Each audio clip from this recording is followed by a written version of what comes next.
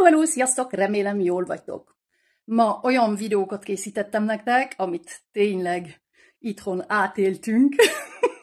Meg akarom nektek mutatni, hogy miért komplikált egy többnyelvű emberrel élni. Úgyhogy úgy nézzétek ezeket, hogy ezeket nem így találtam ki a semmiből, hanem ez így volt az életemben. És nyilván én vagyok az, aki idegeskedik, mert hogy a másik nem érti, hogy mit mondok.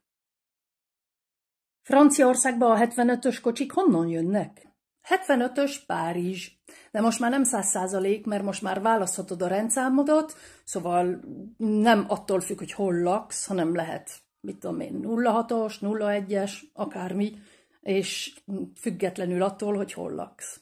Szóval nem 100 százalék. Ja, oké, és a hatos akkor az melyik megyéből jön? A hatos vagy 06-os az az Alpes-Maritime és az a Provence-Alpes Côte d'Azur régióban van, amit úgy is hívunk franciául, hogy Région PACA. Ez több megyéből áll, ahogy a neve is mondja. Oké, okay. és az egyes az mi? Un.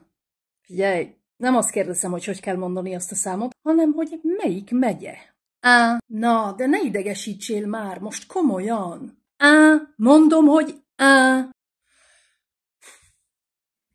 Ezt úgy írják, hogy A-I-N, A, az a nulla egyes megye, A.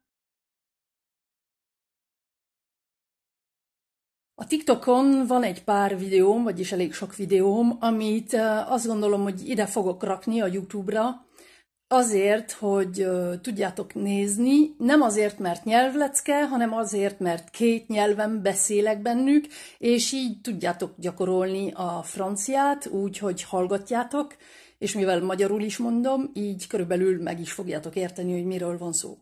Remélem, hogy tetszett ez a videó, és nem sokára találkozunk egy új videón. Sziasztok!